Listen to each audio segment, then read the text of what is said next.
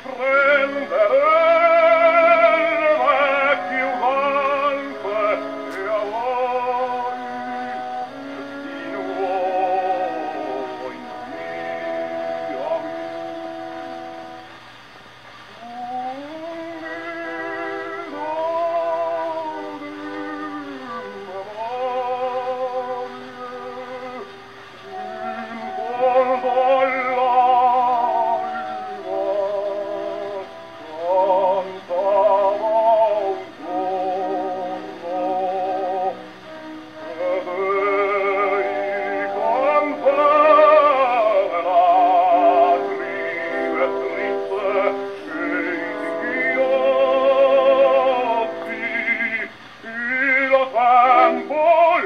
Waffen.